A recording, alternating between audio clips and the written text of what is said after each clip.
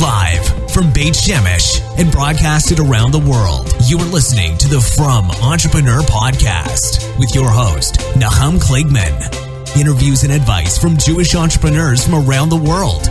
Listen, learn, be Matzliach. Welcome to episode 42 of the Frum Entrepreneur. Today I have another incredible guest. I'm super excited about this episode. I've been wanting to hear his story and uh, continue to be inspired by him for many, many years. I'm very proud and excited to welcome Ira Zlotowitz from Eastern Union Funding to the show. Ira, are you there? Yes, how are you? Thank you so much. Thank you. Thank you for uh, taking uh, your busy schedule to join with us today. I'm uh, definitely excited about it and looking forward uh, to having you uh, join us. So, just briefly, just to get started, for those that don't know, what is Eastern Union Funding? Eastern Union is a commercial mortgage broker. Basically, are, to, in using some uh, Jewish words thrown in, we're basically a shadchan service between commercial real estate owners and banks. When a commercial real estate owner is looking for a mortgage, he may have a relationship with one or two or three banks. He may know of other banks, but it's our relationship and know how to leverage that relationship and know how to get them the best deal and details of a deal, not just the rate, and, but the terms and the details and some business terms throughout the whole entire process. Okay, so it's it's basically a shadchan service and, and strictly commercial. Commercial is defined, yes. Commercial is defined as everything but a one to four family house. So an apartment building is called commercial. Construction Okay. commercial as well. Okay, so so you you actually have the relationships with the banks, you have the relationships with the property owners, and you, as you said, you make the shidduch and try to put the best deal together. Correct. So we- we primarily focus on building relationships with more and more lenders, and then we go out and and find owners that are looking for loans, and then build relationships with them. But it's it's really it's really leveraging the relationships that I have with the with the lenders to be able to get done what the clients need done. So our focus I is see. a client comes to us and says, "I have this situation," and we'll find one of our lenders to get it done.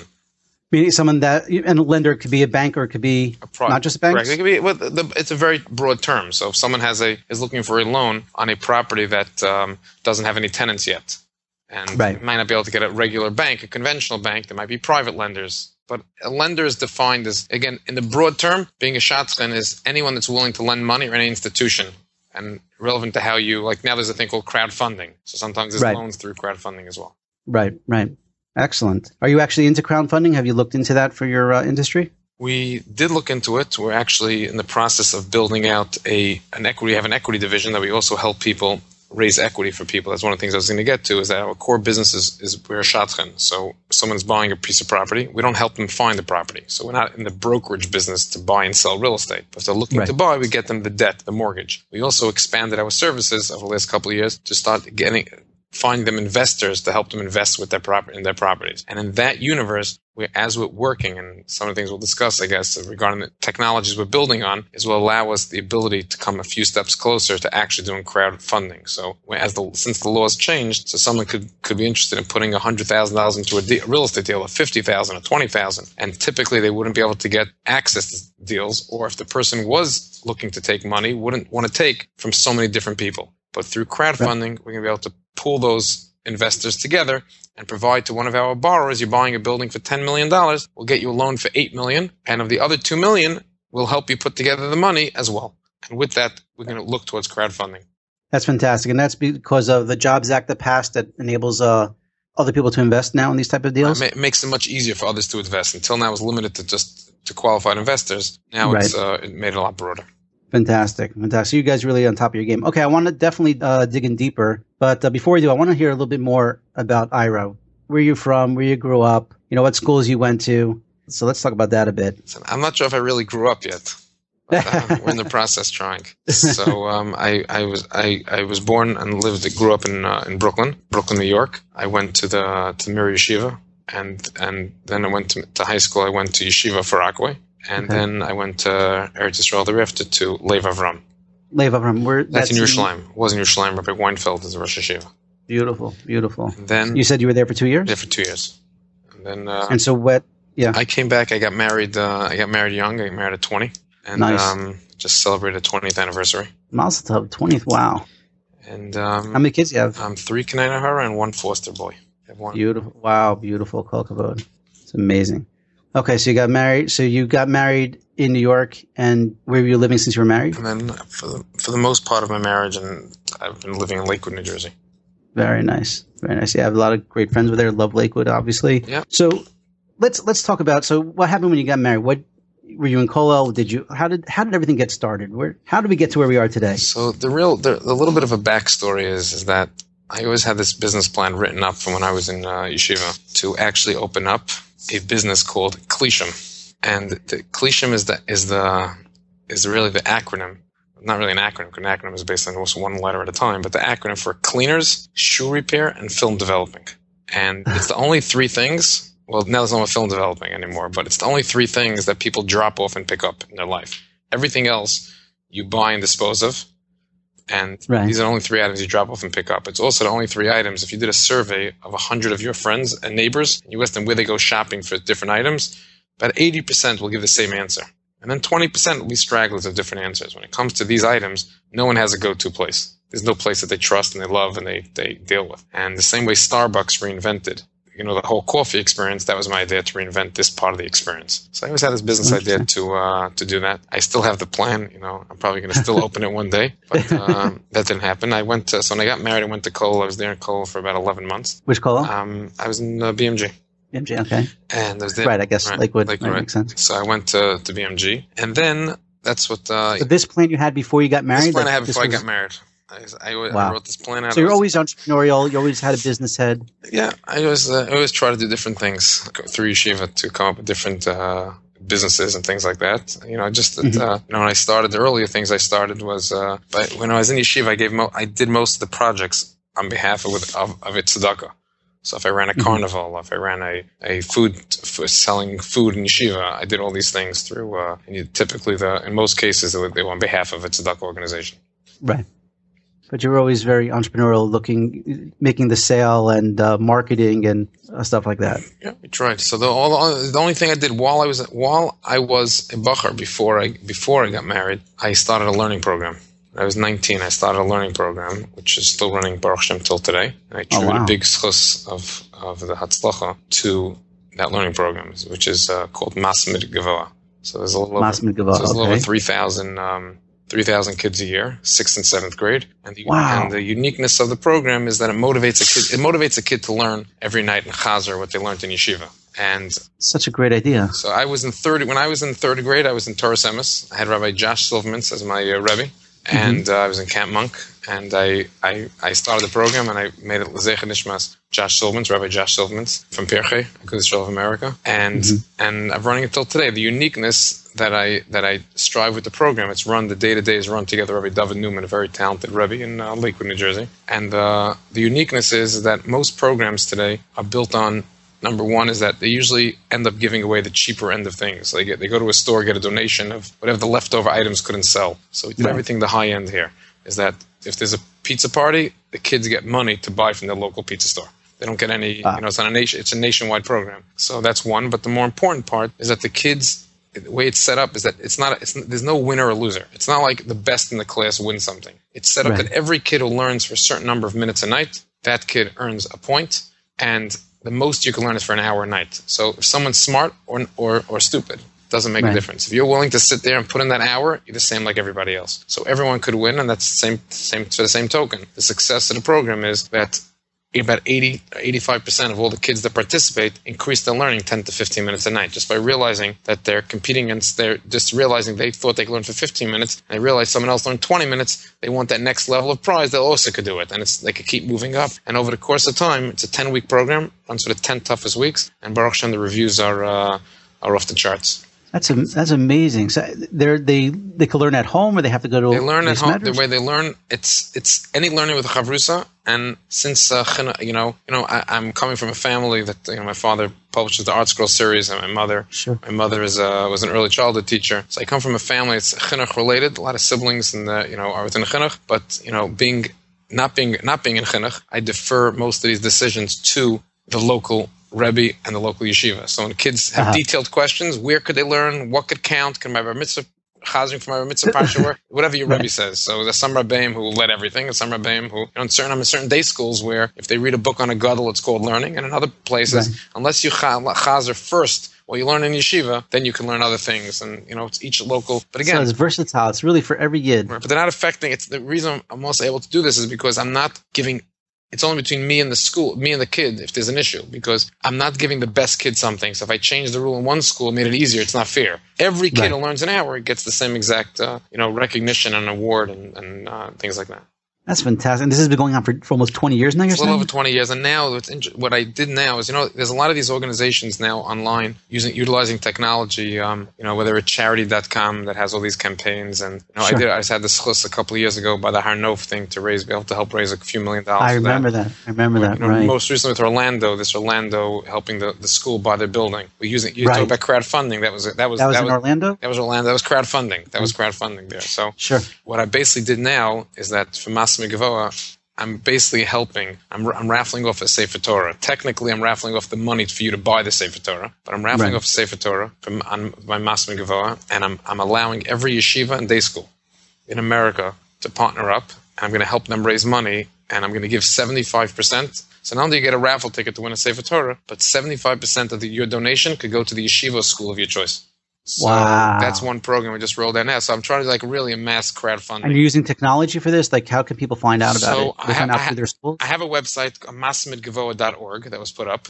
Okay, and, I'll link to it in the show notes. And uh, someone could go there. But again, now in the process of signing up the schools that want to join. But what I'm doing also is there's four organizations in Klal Yisrael that I know of that focus on kids learning.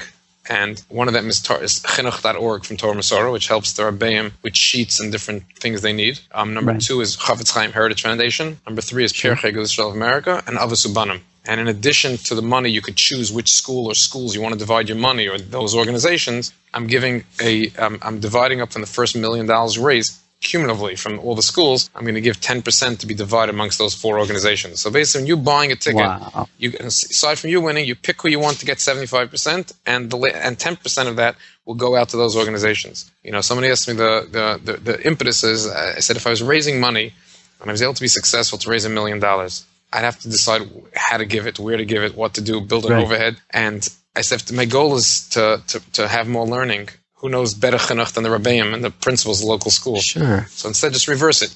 Just make it easy. When someone gives a donation, just say which school should get the money, and I'll give the money straight to that principal for him to run a program directly in his school. So the money doesn't go to the school general general fund. It goes to the principal to run any program he, he or she wants for their school to they, their school for any type of learning program as an incentive within the school. And they make up the rules. They decide how it gets spent. They just send me the invoice. So I'll tell them, listen, wow. ten thousand was raised in your school. You have seventy five hundred dollars to spend on learning programs. That's amazing. And, and, and so the goal behind this is I'm, I'm I'm just trying to I guess what I would assume is to really inspire the kids and to get them excited about learning. That's not just being taught and getting grades and it doesn't matter what level you're on, but just being excited about Torah. Correct. So that that's the Masaway core thing is to motivate kids to love and learn and learn a little bit more. But if I have the ability now to use crowdfunding and different technologies and, and, and, and leverage up relationships to be able to raise money, let me use that that I think that the Kaiches the Rebbeinu gave me to be able to give back and help each organization raise money. So like I'm I'm absorbing the cost I'm, myself. I'm saying the, the, the when I help out uh, a school, I'll leave them. I'll provide them marketing material and the cost to advertise it. And a dollar comes in, they take 75 cents. So typically, most schools can't do a good fundraising campaign because they can't afford to raffle off something big. Now they can pull right. it from all the schools. And even that, I'm absorbing right. those expenses, Masmid Govoha. So now Masmid gets its goal. I hope we more learning programs taking place and more learning taking place. And uh, the Rebbeinu Shalom will figure out who gets the chusam. It doesn't have to have the name Masmid printed on every kid's flyer when they uh, when they learn that. Just right. let the learning happens. Beautiful, beautiful, fantastic, really great. Okay, so you were 19 when you started. Just what like what made you? Was there something that happened? You said, "Hey, like, how'd you come up with the idea to like help kids chazer, you know, they're learning from the day to inspire them. What like at 19 years old, who like I'm just saying, it's like, so, how'd you come up so with So basically, I went through the yeshiva system with basically getting like these bases on my report card and write big Baltishran, right. you know. And I thought back to myself, maybe what happened if I was motivated properly? What motivation uh-huh. could I uh-huh. have done? So as a bacher in BMG, I started by arranging to learn at night with with kids and creating like a mini incentive program with them. And then mm-hmm. I broadened that by hiring another Rebbe. I had 44 kids the first year. And but I always had an eye. During that year, I went around to all yeshivas in New York and, and New Jersey and, and, Maryland. And I, I spoke to Manalim what to, to develop the program to take to take a program a little national. So I went from that that first year, and I realized to scale it, I had to change a few things. And the next year, we started with 1,900 kids, and then slowly grew over time to a little over 3,000 this past year. So it's open to any school. There's no cost. There's no cost for the kid. at all. Right. And, you know, Baruch Hashem, it's having atzlacha. Beautiful, beautiful. I love it, love it. Okay, so now you're so you're now you're you get married. You're 20 years old. You're in Kollel. After you stay for a couple of years. Oh no, no, 11 Kimchi. months. 11 months. Oh, 11 months. Okay, so what happens after 11 months? 11 months, I uh, get a job. I get a job working at a firm called Meridian Capital. Okay, It's a mortgage company, and I stayed there for four years. okay. And then four years later, I I left, and they opened up Eastern Union. So how how did you? So I mean, I love the name. You know, now that after the name's been in the market already for so long, but it's a it's like the perfect name for this type of uh, uh you know industry and what you're doing. But how'd you come up with the original name? How'd you come up with uh, the initial idea, and how'd you get the funding to launch your own company? So to get the ini- the initial idea, I was in this business, and Right. I went, I left, and I opened up. When I started, there was it was pretty much I had there was an, there was a uh, friend of the family, an attorney that um, you know we thought we need some money to be able to start this business up, and an attorney helped out, um, and that was actually that attorney's idea. Just came up with the name Eastern Union. And what's funny is that like on the first day, second day, I remember working, calling someone up and said I'm calling from Eastern Union. Person says, Oh yeah, I heard of you guys because I think a lot Right. of it has to do with you know playing on uh, you know Western Union or whatever. It's just it's a name that you know No, it's fantastic. It's genius. so I that's th- that part I take no credit in. Someone gave me that name, and I Uh-huh. basically I took um, I took a one room within within uh, the ArtScroll building. When I started, I took one room, and it's a sales. It's really a sales organization. So I, I started, and you know, it was a little tough in the beginning because you know when when when I started, I started totally from scratch. So I didn't I didn't work on any of the clients I dealt with from before. I didn't work with any of the relationships from before. I started. I, I went out and I purchased a uh, you know a uh, there was a, a, a lead generation book. It was called the Blue Book at that time, and I just started cold calling. And then as I made cold calls and started doing advertising, and you know, you know Baruch Shem, So, so this wasn't know. handed to you. You actually had a had to sweat. You had to work hard. Yeah, yeah. I, I, I said I wasn't. Uh, I, I wasn't uh, blessed by uh, by uh, winning the lottery ticket. Lottery, because, you know, everything, everything, everything came from like the the klal of the nachash. Everything came from work, the hard work, and then the Rebbeinu I'm deciding, and, and you know, deciding when at what time should I see atzlacha and where should I have agam. And then Baruch Hashem, you know, you know, as on a net basis, Baruch Hashem, we're doing very well. So when did you when did you realize that hey, this is actually wow, this is actually working out. It's more than just a parnasa, but that you know, you're seeing like really some extra siyata d'shmaya. relatively from the beginning. It's uh, Baruch. Wow. I, uh, you know, we had its bumps in the roads, but you know, I was was able to keep an eye on the long view, and I was able to see where it's going. So, you know, I, I try to always focus on the forest, not just on the trees and the gra- and the grass. So from the initial stages, you always you always had the dream or the vision to to build it up. I mean, you have seven offices now. So we have a little less. Um, one second, is it three New York? It's uh, uh, I think it's six, but the it's about staff about a, uh, staff about hundred people. Now we're in, we're now in a very very big hiring mode um, with this uh, you know with this with the app that we rolled out. Um, You know, I, I always try to focus on. You know, I had Siyat Shema this way. I was focusing on on on, on we, we focused on the business focused on two things. Is that being number one is a trusted advisor. Says no matter what happens in the market, one thing a client could always count on us is that what we told them they could count on. So at times we mm-hmm. lost deals because you wouldn't play the sales game where, you know, I knew I could deliver a rate of three and a quarter percent and I would never tell a client three and an eighth. And then later on, you know, play the game, retrade him or whatever and hope that it would maybe go down to three and an eighth. I'd always be upfront Right. what I could deliver. So I'd always give, give clients advice. They're looking to buy a building and I could really keep my mouth quiet. They're buying it from someone else. They want the mortgage from me. But if I felt it was a bad deal they were buying, I'd advise them that, you know, our thoughts on the business. So the whole culture in the office is a culture of, of, of pure trust. So that was one part. And, you know, a lot we, we came with, you know, with innovation.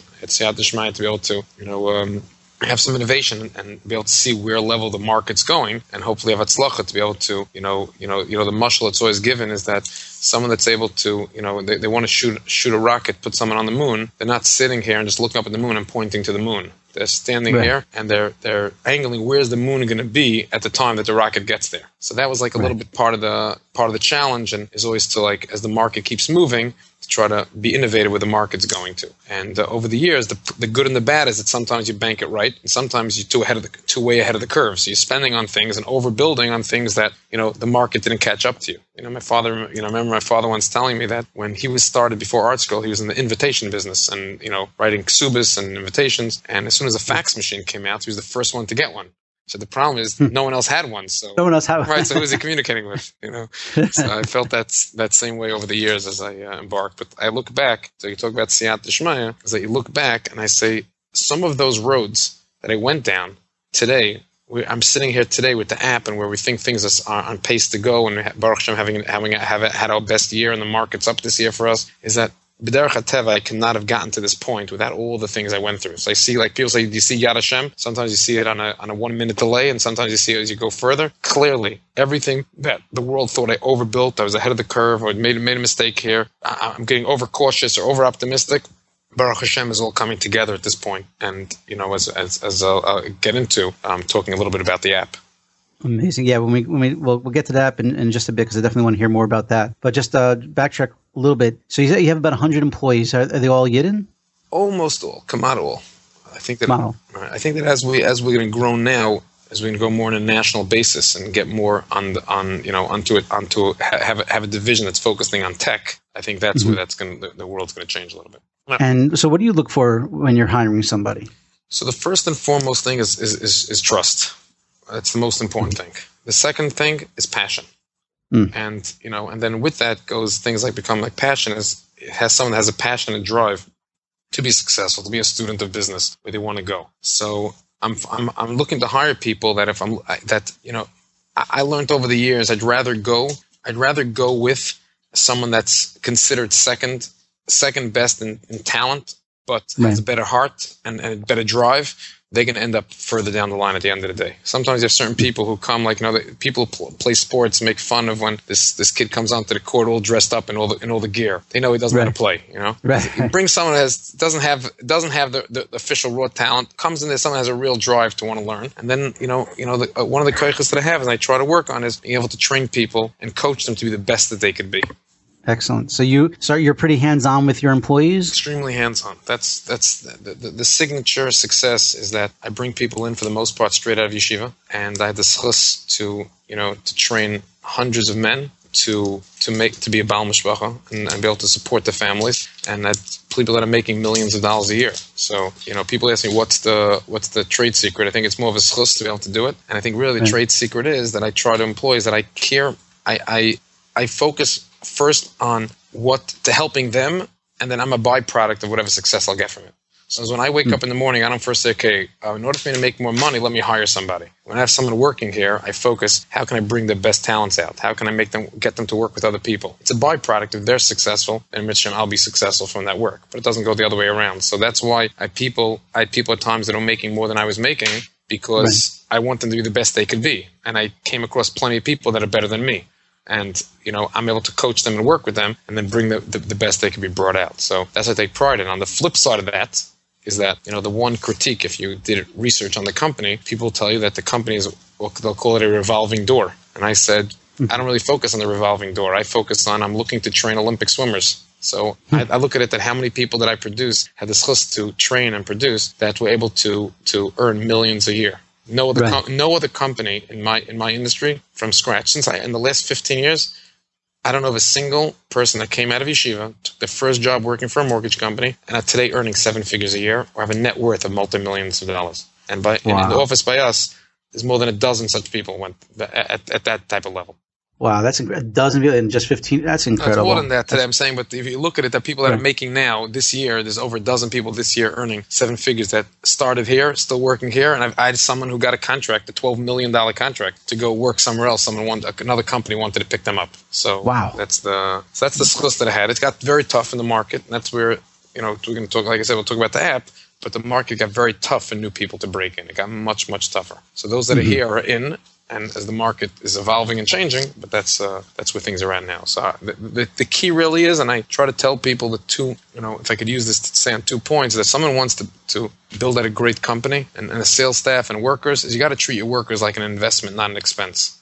Don't look at mm. it. I could get away. If someone wants sixteen dollars an hour, seventeen. I'm going to try to squeeze them down to fifteen seventy five. I would go for 17. And if I really felt they should be worth more, I'll pay them more. Because that person walks out, is going to put in so much extra effort into the business. I'll get my return on that extra $2,000 a year I spent. Same thing with commissions. Right. I pay the highest commission. Make them feel good and put energy into them, and then you can be able to grow that business. That's one. And on a lower level, for an individual person, my advice to I tell everyone, individual person is everybody has strengths and weaknesses.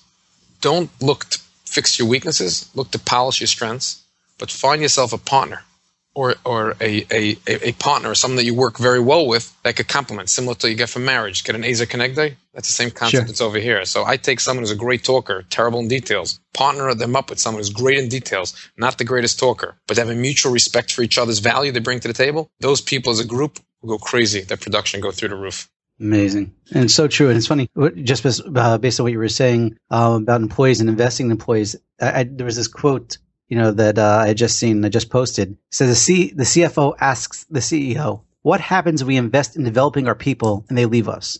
And the CEO replies to the CFO, what happens if we don't and they stay? By the way, I agree with that a thousand percent. The only problem that I run into on that is by yes about having a lot of from people is because then do you you know my problem is I get too emotionally involved. You know, I'm meeting Right. someone, I see the potential, and it just frustrates me that I that that that you know they're not getting it and not, and try to put too much. Sometimes just you know you try. Yeah, I I, I love that quote. I saw, I saw it so many times. People send it to me all the time. Ah. I want just uh, to on that topic. I guess it's a little more of a difficult question, but I guess it must. It, it's hard to let somebody go. I assume if you have to, if you know, knowing that they're from and knowing they have a from, fa- you know, they have a family, etc. How do you how do you deal with that? So that, that is the toughest. That's the toughest part of the whole thing. And like you know, I opened up an office a couple of years ago in Israel, and I tell people Mhm. that I opened it with the goal primarily to help and be able to give jobs there. And even though people say Right. it's not going to work and six thousand miles away and et cetera, et cetera, even with advance in technology, you know, the toughest part is I remember that I took people straight out of m- most of the people I hire overwhelmingly are straight out of coal or straight their first job. Right. That's the big key. So in other words, when most companies don't want to hire potential, they want to hire today. I could hire straight from potential because I believe the Mhm. same competent person. You are as competent today as you were when you first started. You have more experience in life, be the same Right. competent. So Mhm. I could take someone out of yeshiva and I'm willing to train them from scratch and literally like bring someone in and very, in a short order get them, you know, again, some of them are making within a couple of years. You know, that, that the, a lot of these people I'm talking about that are making seven figures, they're making the seven figures in the 20s. They're not like that. Wow. so, and then, you know, a big thing I push them is tzedakahs. I say, listen, if you're not giving a chaimish at that level, you got to at least be giving a chaimish. And I don't collect for any cause. So it's like I encourage them to give to family and how to give to family and give to their, back to the yeshivas that help them. Don't just find the new people that know you because now you're making money that start whining and dining you and putting you on a pedestal. Remember those people Right. that helped you get here, you know? So It's a karsatov. so it's a big part. Of, a big part of the Kars Tov. So when it comes to, like I said, with Israel, when I had to, unfortunately, it wasn't working for people, and let Right. people go. You know, I said the, the thank you letters that I got when I opened. I know it's amazing what you're doing in Israel. You know, it, it paled by comparison to the letters like I can't believe so you're letting a person go. You have a successful business. What does it cost you to let someone stick around a little bit extra? And in some of these Mhm. cases, they were commission only. They weren't even making a salary. And I like- and and what, what got me to be able to let some of these people go is because I tell them that you, know, you have a mishpacha sitting here, you're not going to make it. If and once it's realized you're not going to make it, to a certain extent, I think I'm doing them a favor. I, I'll help them go get the next job. And I get letters six Right. months later. You know something, full. You know, very rough when we worked here. It was tough. You, had demanding certain details. But you know something, my next job it paid off. I have companies that call me all the time and said, "Ira, who are you letting go now?" Because I want to hire them. I know if they went, they- if they they went through your boot camp, they know how to reply Right. to emails, the etiquette of calling and back and forth. They know how to get it done. So do I? Do I some people say, "Did I the turnover?" But listen, if I'm working here for the British Lim and I'm helping people get a parnassa, it doesn't have to be what's my conversion rate within the office. I look at it that Right. you know if I did the ishtalis, if they do their job. But the number one reason I could tell people that take jobs that didn't work, I asked, I do an exit poll. I tell the person, I'm very blunt up front. And I'll tell someone Mhm. exactly what it takes to make it. To make it and Mhm. doesn't make it. And I tell the person, if you're going to make it in this business, you're going to have to make these mon- amount of phone calls a day, work this way. And then they come in, they do a different way. So I said, what were they thinking? And their answer always is, Ira, there's no other job that I could take that I, coming out of yeshiva, I could actually see myself making seven figures a year, except here. So I'm, I can, I think I convinced myself that it's for me. I convinced myself, why not give it a shot? So it's very tough on the way out. I, I have very clear goals with people. So they know exactly where they stand and they know where it's, where, where things are going to. And they know in advance they have to hit a certain target by a certain date. And if they don't hit that target, then it's not going to work. So the smarter ones see that they're about to hit They the see- wall and they they, and they, it's quit- and like I advise them, quit early. So when they go to the next job, they could walk in and say, listen, I went to work for Eastern. You know, I went as the first job. It's a training ground. I real I, they would have kept me on a little bit longer. I realized it wasn't for me, but I gained a lot of experience and I want to take it to my next career. You have the highest rate of getting hired in the next place because someone sees, whoa, this is a good person, took a job, tried it, realized on their own it wasn't working, stepped left, and now I could hire someone with some level of experience. And I think that's that's what the best of the group went on to using it that way. But it's very very tough, and um, right. that's those are the toughest things that I had to deal with. But unfortunately, unfortunately, it comes with uh, part of business. Part of business. Uh, right. But I'm sure it's done. I mean, the, uh, it goes without saying. I'm sure you do it in a mental, mental way, but you know, uh, the, the, answer to that question is, I can tell you, the answer obviously is yes. And you think that right. you do in the most mental way. And I have a committee of people that I talk to, and I, I surround myself not by yes, yes people who say whatever you say, but more people right. that are blunt and answer back. But I learned the long way. When someone thinks they're doing a good job or you're delivering bad news, there's really no way to deliver. There's no good way to deliver bad news. I could call you right. today at two o'clock in the morning and tell you that you won the lottery. You're not upset no matter because how I called right. you. But if I why you wake me up? Well, you couldn't wait till six. Right. If I, but if you know, they say when you fire someone, only fire them on this day of the week and on that day of the week. I learned there's no good day. There's never a good time. The only thing I tried, which I learned from someone, to give over is that if you if you really know it's not going to work, let them know sooner than let later. them know sooner. And the fact you let them know sooner. See, this is the, this is if I could go off on a little bit of a tangent, but for this please. point, no, it's for the, it's it's a, for this point is that what ends up happening is you notice January first it's not working but you right. but you want to try with that worker. You don't. You want to. You know. Maybe it's going to change. So you go into into another month. Then you go into another month, and then you meet the person. And they and they, they, then it's right before Yontif. So you have to wait till after Yontif. And the problem right. is, by the time you have an opportunity, you just end it, and you're so frustrated. You barely even have enough money or anything to give them more than I don't even know any notice. It's over. A week later, they don't have a job. Right. I learned, and and what I did on jobs and when there were salaried positions, I went and if I noticed in January, I would go yeah. over to them like a buyout. Now it's expensive, but I learned that for the person's own self and probably a net overall, I'd go over to the person in January and say, I don't believe it's working. You have a choice. Mm-hmm. Leave now while you think it's still working and it's possible it could work. This I do think I'd rather hurt myself right. and leave on the better terms. I said, here's take four weeks pay. If you leave today, I'll give you four weeks pay. Four weeks notice and two weeks pay. Wow. You know, so, so, this way, now I look at one end of it, I'm paying the person six weeks when they're not really going to get work from them. But on the other right. side, I probably end up paying three months and total burnout. And then person says, I worked this hard for you and this is all I get. So right. this way, they're very happy. And if they decide to stick it out, then I'm in a situation where they, t- they had that option. So I right. find most people, when you're having the problem, most people are smart enough and jump and take this thing when they realize that you're really serious. Sometimes you don't have this luxury to do it. It's, you know, something happens in a market. But in a normal sense, I try to be very clear. And I learned from, you know, one of the things when I first started hiring people. My father says in his office, when he hires someone, he tells them that there's two trial periods. There's a two week trial and a two month.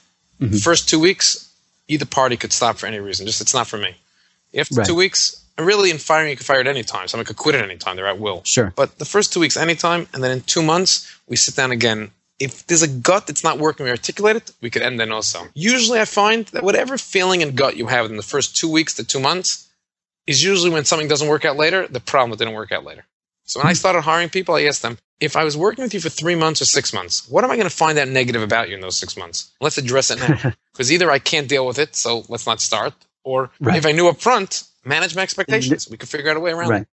That's great. It's brilliant. So, you know, you touched on this very little, but I wanted to discuss it with you just because I think it's a, uh, an interesting topic. It's come across, come up on other podcasts uh, in other areas. Um, in terms of education, like how important I, I, I don't know. Did you go to college? You didn't go to college. The people you hire, I know you said they're straight out of yeshiva. You know, how important is is uh, you know, I guess uh, further education or college education? So, what do you think? Here's the answer to this. You know, I don't know how this gets sliced and diced and, and misquoted or quoted or whatever, but here's my yeah. No, it's it, it, it is a very uh, my my, it's, my updated topic. my updated view is as follows. First and foremost, as an Orthodox Jew, our job is to establish and I have a whole thesis, so to speak, that, uh, that I'm trying to put together. That and, and, I saw from all the people ask me, if people come to you that are making millions, people that should have made millions but have made nothing. What's the right. what's the tzadashav? What's the bottom line you could say across the board that you picked up?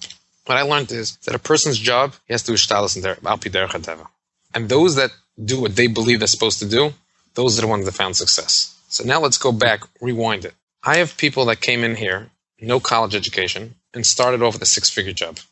First day I hired them, they started at hundred thousand dollars. I had other people who came in with some level they, of you paid salary. they made in no, commission? no, no, salary. Also, I have, I have in the office with me, you know, probably salaried. Also, you know, you know, probably about close to fifteen people or twenty people that are making over hundred thousand dollars salary, and a few in the few hundred thousand. It's not just the sales force. There's support staff. There's a whole company. Baruch Hashem. Sure. So some of them started at those types of numbers, or started pretty high. Others started at wow. entry level. And what I found is that those that went through the yeshiva system and the kollel system and believed with emuna pshuta that what their responsibility during those years were just to sit and learn and do nothing mm-hmm. else and had clear emuna when they got themselves a job and then now I have a job. My job is to work my tail off or whatever they're supposed to do in that job they're doing. Mm-hmm. Those people had atzlacha. Those that went wow. through school, went through yeshiva, and believe that no, you have to be well rounded. So I have to know about worldly things, whatever they decided. I have to take PCS courses, which I think is amazing that they go to. Right. I have to go watch a Shark Tank. I'm a big fan of Shark Tank and tell people you watch a Shark Tank unless you learn business things. And they believe that, and then they did that. Those people had a success. The people that did the opposite because peer pressure, other people doing it, I don't think they need courses, but they went anyway. Or they believed they needed courses, but in their circle of friends, they didn't do courses. Those people right. never had tzlacha. Hmm. And so you asked me about education. I do think it's important to, the curriculum has to change. But I do think that it's important where I, I make a joke that, that I hire people straight out of yeshiva that sometimes they got so bad that even the spell check doesn't pick it up. or even Siri can't recognize your English words. So when I'm talking to people like they got they have to learn, you know, just basically, you know, it, it's you know, we have a calculator today, so you don't have to know math the same way that you maybe had right. to know math in the past. But there's some just basic what's going on in the world, some just basic current events like checking the news, know what's going on at some level, and being able to to to to read and write, be able to articulate yourself. Not forget about any high level of English. Just you know, it's like some your English just shouldn't be I have gooder English than you. That shouldn't be uh, you know that you know people use that line. The guy walks in, I have yeah. gooder English, and he thinks that, you don't have to have fancy English. Just don't say I have gooder English. You know, know at least what you could say. You can say it at, at, a lower level. So, but education beyond that is all based on is based on a, person and what they honestly believe. So some people believe they should get general education, so p- different courses they go to, different books that they read. And I meet people. Right. I'm yes, I am impressed when I meet someone and differentiator. They come into the room and I'm interviewing ten people and have two slots or one slot, I'm going to take someone that was a student of business that try to learn as much as they can. Right. Are you a reader? Um, no. So I'm a. Sh- the reason I'm not a reader, I, I read a news glancing at this, but like they say, a shoemaker's kid goes barefoot. Right. My father being a publisher, I'm not a reader. very good. All right, let's talk about the app because that's that's very exciting. And you know, first we'll get into it. and I'll ask you some questions about it. But I think it's off the bat. I think it's a genius idea. So I want to I want to hear first of all, what is the app? what does it do? Who is it for? And how did how did we get there? So the app is 15 years in the making. The app is oh, wow. all of all the ideas I always had with technology and data, and bring it all together. Over the years, I, I wrote systems that so I keep track. You know, when I was buying Meridian, I developed their system. When I opened up here, I, I started from scratch, a, a, a, developed a system to work from internally, and I attempted to sell it in the open market. And it's even bought by one of the largest brokerage firms in America is using it as their software. But back then, oh. I was they was I was mailing out hard CDs, and a person had to download it with authentication codes and whatnot. And then right. you know then things went online, and then I built an online version of something. And now with apps, you know, I'm I'm the first commercial real estate company known to come with an app and do the things that I'm doing. And the app is for every single person that claims to be involved in commercial real estate at any level, has a mm-hmm. use and a need, and it solves a problem that they have now, and that's what the app does. The app does. So what's a pro- app, what's a problem it solves? It solves four problems. Go ahead. And before I tell you the problems it solves, is that the, the reason why I was able to come out with the app, the cultural decision that I made, so while you're listening to the problems and it's solving, is that I see what the newest tech that's coming into the industry because I have a company and people pitch me what sure. services I could buy. And I see venture capital where they're putting their money. And I made a decision. I always questioned years ago, how come when Netflix came out, didn't mm-hmm. Blockbuster just, you know, come out the same product and knock them out? Sure. Why didn't when the iPhone was Kodak also same Kodak? You have iPhone to the Palm Pilot. Why didn't right. you know you know Sprint? You know you have a Conophone or Sprint to AT and T. How come they, right. they just lower the pricing? So the reason is BlackBerry also now. The yep. reason is because the old regime discounted the new company and said, eh, it's not going anywhere. And by the time it went somewhere, they also had to give up some money. So now in my office about a year ago, two years ago, I put a cap on the on the fees that we charge because I saw the market changing and I mm-hmm. put a fee, cap, I capped fees. And, you know, we were interviewed by the Wall Street Journal and the Wall Street Journal did research and he came back to me and goes, Ira, I'm convinced that the market's changing like you are from speaking to all your competitors because usually when I speak to your competitors and ask them about the other side of the story, the answers they come back to me and they start knocking you and say different things that the world doesn't know about you. But over here, no one was knocking you. The only knock was, why are you telling the world that the market's changing? Whoever doesn't know, let them still pay what they're paying. so when we when we capped our fees, we saw where the market's heading to. This this second quarter this year, Baruch Hashem, we were up 36% our production over th- over last year's second quarter, when the rest of the industry is flat or down. Wow. So it's a culmination of a lot of things together. But I made a decision. I'm not going to allow Uber.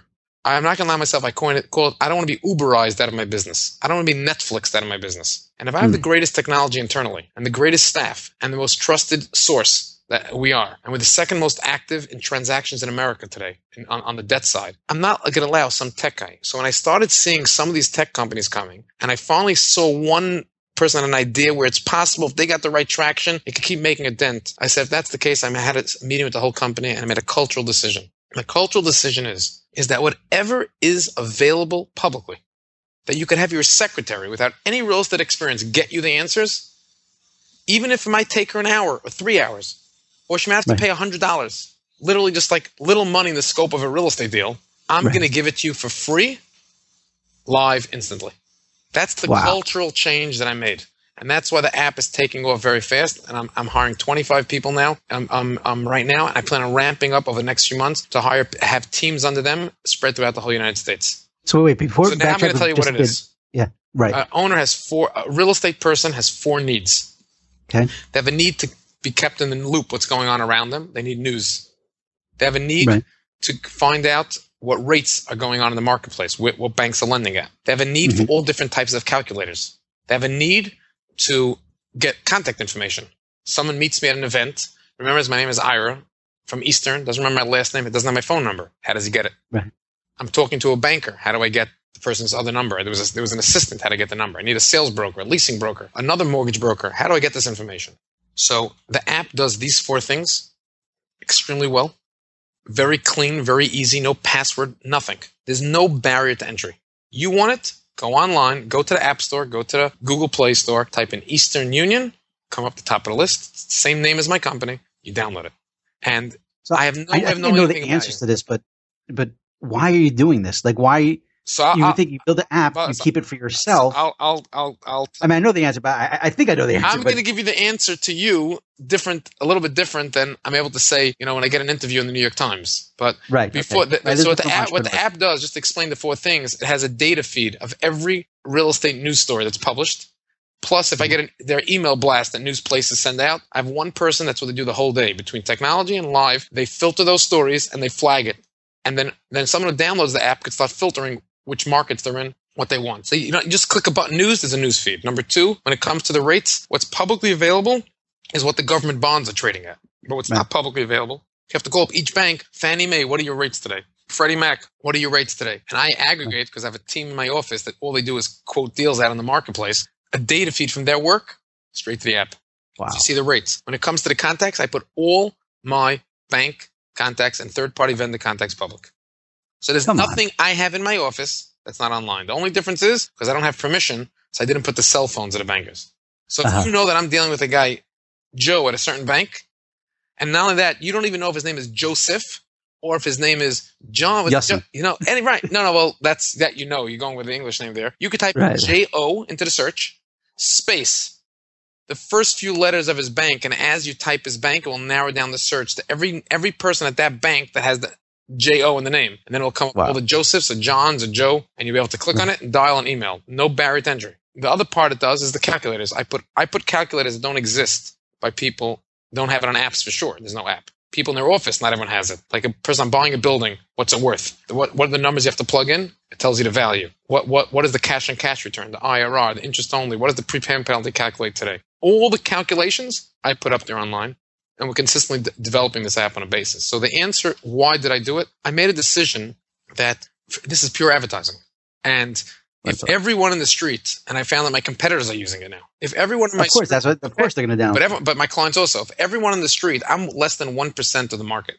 and if everyone in the street is using my app, the branding, I could shift my advertising budget from advertising in this newspaper and that website. Have how much better could it be than on your phone phone.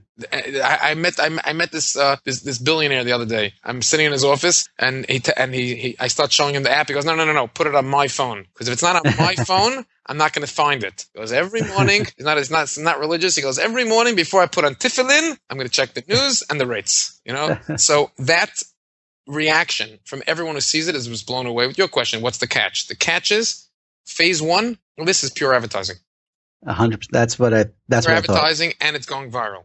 That's in the commercial space. So we open. It's less than a month out. We just starting to advertise it in the last couple of days. Before it's, it's basically close to two thousand downloads already. We just started, and there's no. Wow. You, know, you can't. And almost every every except for one, we got humanized. Is that every every every uh, rating has been a five star, except for one a four star. So that's where we're at. Mm-hmm. And that's the first thing it does. The second thing it does with very, very high security is that the broker in my office, when they use it, they could log in and on the road they have all their deals, all their contacts, all their CRM, they have their quotes, everything is live on the transaction. So when their client calls them up from Oh, so that's just for your. That's just for people in Eastern Union. Right. And the third step of the app, which is also going to Yeah. be free, and this is already built now, and that's why I'm hiring the staff to help it set up, is that any single person related to real estate, anywhere, the truth is it could work anywhere in the world, but I'm focusing on America. If you're Yeah. an owner of real estate, a lender, um, but in the second in, in the second phase, I'm giving it to my bankers also. So when I do a deal with a banker, he could put a quote in, or he or she could put a quote in live, and I could see Wow. quotes live. So the third step is that anyone could could send me a list of the properties that they're either they manage, they own, they're a partner in, and th- with this app, when they get, a, I'll give them a login. They'll see the same four features everyone else sees, plus they will see a list of their properties in a beautiful list. So it's really public Ah. information in real estate. But I don't, I have no reason to find the, the properties you own. But if you give me the list of the properties you own and manage, I'll link you to those properties, very high security, and you could log in and see a list. You have a nice list. No one has a list of their properties. I met a real estate owner who owns hundreds of properties. He has no list of his properties. In the office, somewhere he could get it. He has no access on his phone. so, but with that, uh, with that, if you're a client of mine, Yeah. this is the competitive advantage. I'm going to have online brokerage that you'll be able to track full transparency. That's what being a trusted advisor is key. Everything is open. Since I'm not lying, I could let everyone else know what everyone else is seeing and going on only on that deal. So that I can have a way with like a WhatsApp type chat with the banker, the client, and the broker could all communicate the same way. So whatever I see on my deal with security, that client sees only on his deal with certain Wow, wow, wow. So that's let's say you have online, you go to Chase online banking. So the monetization, what came up is that while I'm hiring the staff and I'm paying 75% away, giving it back to the staff I'm hiring, is because there are many owners, once they started seeing it, they told me, Ira, once I have this list in front of me, I would love it if I could store, link my, some of my documents here. I get an email every day from my secretary with certain numbers. I wish you could just post up each property and I see it. I see it here. I would like to link who my who my uh, super is and who the different vendors on in case of emergency linked to my properties. I would like Right, to wow. have management sync it to here. So within 15 seconds, you could reach any part of your business. So I told him, I said, listen, for that, I said, basically, I said, listen, what I'm prepared to do is two things. One is, let's say you want to build a digital bridge from your management software to this apps, so the app could read the story for you. right. You don't want to spend $3,000 that it costs to build. You just want to spend Right. 500. I'll try to put together five other owners, my tech team, that also probably want the same thing as you do. You could build an API Build to, an API, to the right, existing. build like a, like a API, digital bridge. I'll build an API genius. to all, Love all it. six. And now the seventh person says, Oh, I want that also. I can tell the seventh person, no problem. For $10 a month, Ah, no, okay. the, the first three covers the cost. $10 a Uh-huh. month to give you access. But every person, what once if you pay ten dollars a month, I will let an owner click on any individual deal and start linking all different things that any other owner chipped in and did. So like, let the real estate community,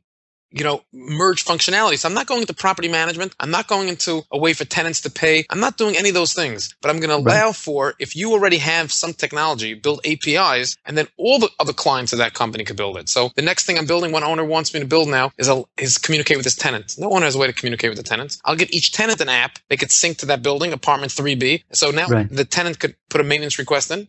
Or the landlord could say, "Hey, we're paving the driveway, with a parking lot on Tuesday. Please uh, park on the other side." Send a message, automatically get notification through an app. Wow. So this idea Wow. is where it's going to branch out. But what's the core? It's all called Eastern Union. So hopefully it's branding. And if someone's using my app, my app, that they, you know something, let me give Eastern a chance to uh, to Sure. work that transaction. So And that's how you go national. so that's the, I'm, we're a national company now, but that's where we're going to start.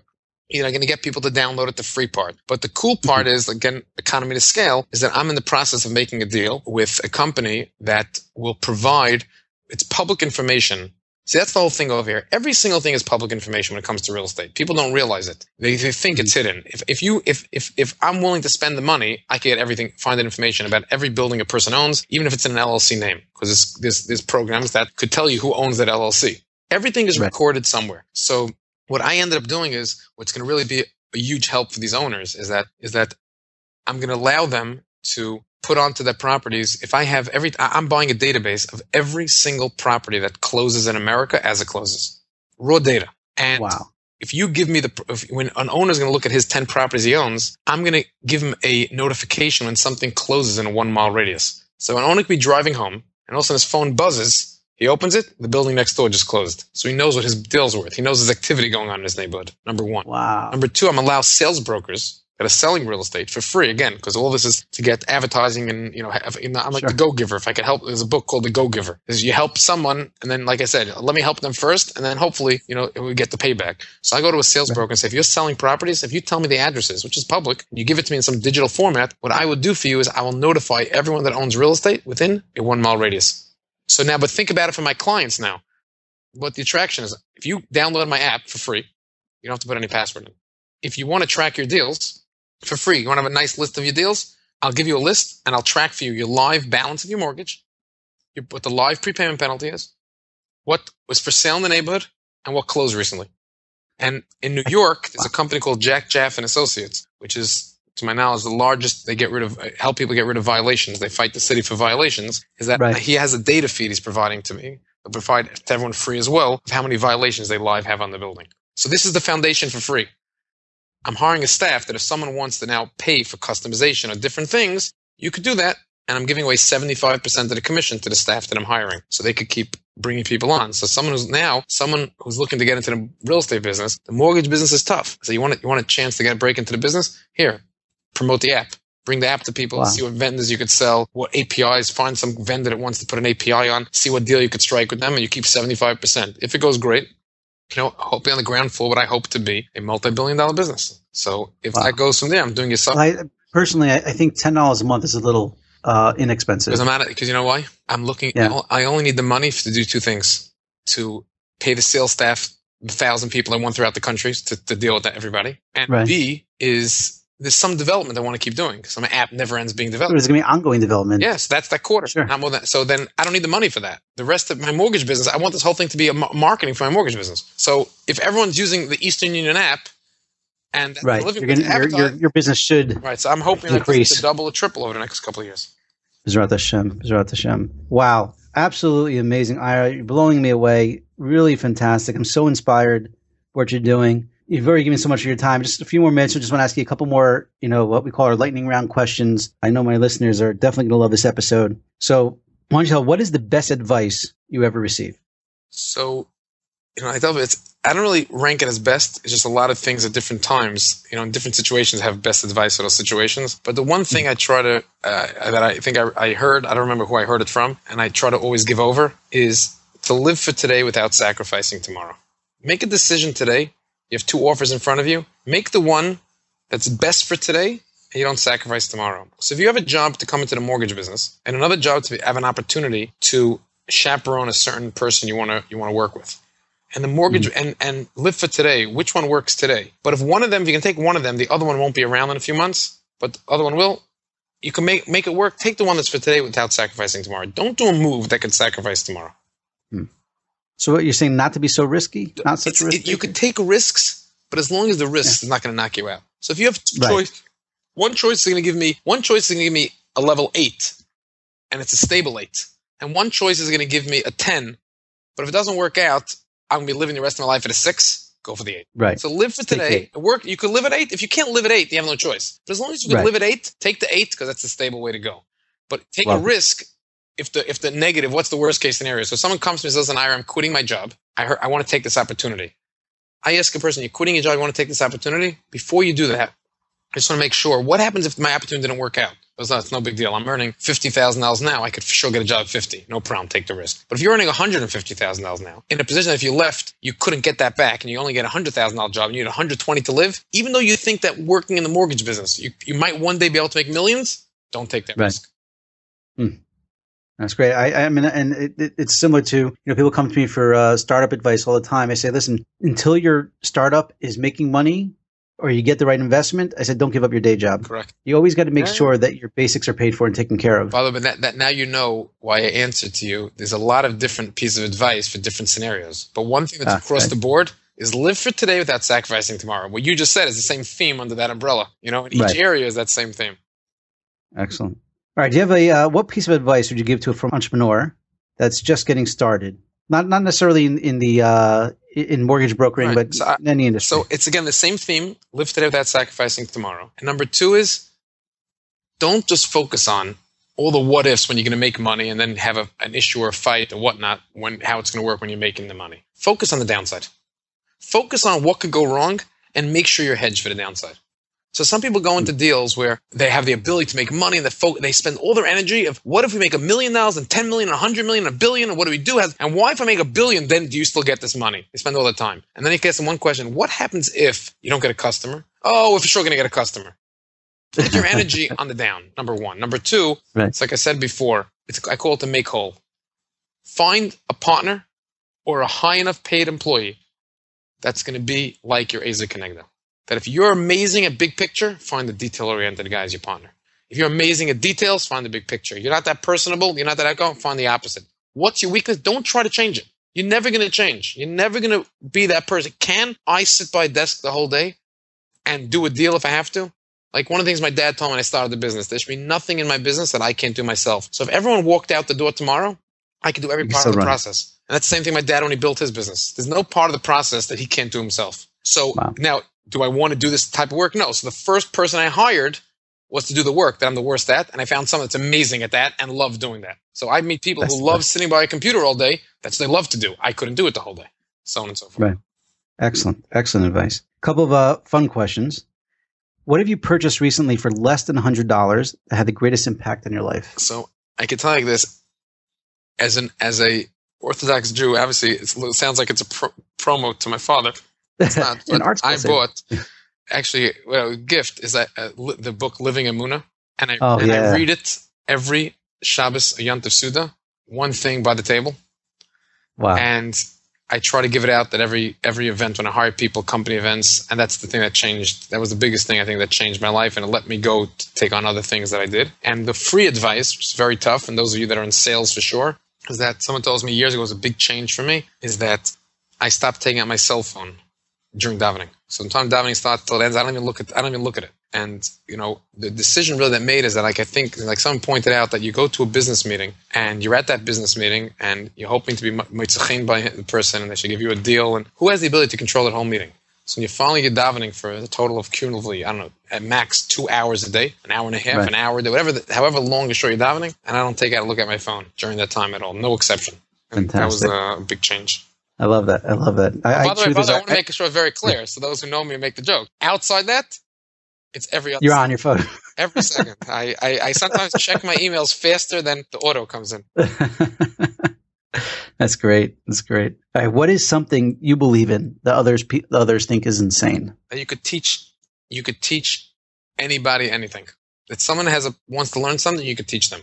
So most people, this this is what I got my, from my mom. You look at someone, you, uh, she says, take the best you can take out of them. When I meet someone, I don't just look at them where they are today. I look at where they could go, and, and if they want to passionately go, you could teach them to get there. So the story is, the story of life is I meet these new brokers straight out of yeshiva, and the guy said, "That this guy's wasting your time." And meanwhile, he turns out to be the biggest superstar down the line. And awesome. and uh, so you can teach anybody anything if they have a drive. Beautiful. Beautiful. All right. One last question. And that is when you hear the word successful, who do you think of and why? Um, my dad. Ah, And um, you know, for me, Baruch Hashem, that, that that's an easy question, easy answer, and easy reason. Uh, you know, you have the he was able to accomplish things that uh, you know game changed the world. So it's like it's true. It's true. It's, it's you know, he ha- he, he, mom has changed the world. This, this chusm that, that he has, uh, and everybody at our school has is just unbelievable. I remember I once had a, a meeting with uh, Schottenstein in, uh, in Cle- Cleveland. Where was it? I think, yeah, in uh, Columbus. And I bought a suit, like I bought a new suit to meet him. And someone asked me, says, "Oh, you're going to try and impress him?" I said, "No, I'm actually I'm buying this suit because I have so much kavod for what he did for for Gemara learning this generation. That's for the kavod of Torah that I'm buying the suit." And obviously, the same thing could be said about your father and uh, anybody at ArtScroll, anybody that spreads Torah like this. is It's just, you know, I, I, you know, just I just hear I, I hear that I, it's it's very impressive. I think that too. You have to also make sure to balance that. The next time you go meet Rav Chaim Kanievsky, you put on a suit, also a new suit. Oh, and do yeah, that's true. You know, I guess because living in Eretz Yisrael, You take it for granted Maybe, soon, no. unfortunately. yeah, yeah. But yeah, no, Reb Chaim is. I've I've changed two of my kids' names because of Reb Chaim. I mean, listen, that's it. It's, it's uh, you get it, it's all from the Gedolim. That's it, hundred percent. All right, Ira, this has been absolutely unbelievable. I thank you so much for your time. It was really great uh, getting to know you myself personally, and you know, I'm sure my listeners as well. So, you know, continued Hatzlacha and Mazel, especially with the uh, the Torah programs that you're really behind. That's that's really fantastic, and you should uh, just continue to be Matzliach. Thank you. And I want to just end with um, with something like I put on each, you know, each end of it. That if there's anyone that has, you know, if they think I could be of help with a question or connect them to somebody, then they feel free to uh, call me. My, I'll, I give them, I'll give them my cell number and my email. I go through every email every single day. I, I go to sleep at night with zero unread emails and uh, an inbox that has usually less than 10 emails left in it. So my email address is iraz, I-R-A-Z, at eastern, the letter U, and the letter F, Dot com. So it's iraz at easternuf.com, and my cell number is 917-597-2197. And if I can help someone ideas how to help them grow their business, and you know the drivers of the giving parnassa to other people as well, that's my my added motivation. So That's- B'hatzlacha. I can't believe you just did that. That's awesome. I just had uh, in my, my last episode. I had uh, this guy Dimitri Salita, who's a, a you know professional boxer from uh, boxer and boxing promoter, and uh, I asked him if he knew uh, this guy Floyd Mayweather. You know, as a joke, if he had his number, and he says he actually does, but he didn't give it to me. Uh-huh. I, I, I didn't give you someone else's number. I gave you mine. You know. That's true. That's true. Yeah. All right. So, Ira, again, thank you so much. I really appreciate it, and uh, we'll uh, get you on again hopefully one day. Thank you very much. I appreciate it. Thank you. Best of luck. Thank you. Call it to. Thank you for listening to the Frum Entrepreneur Podcast with Nachum Kligman. We hope you learned something valuable and will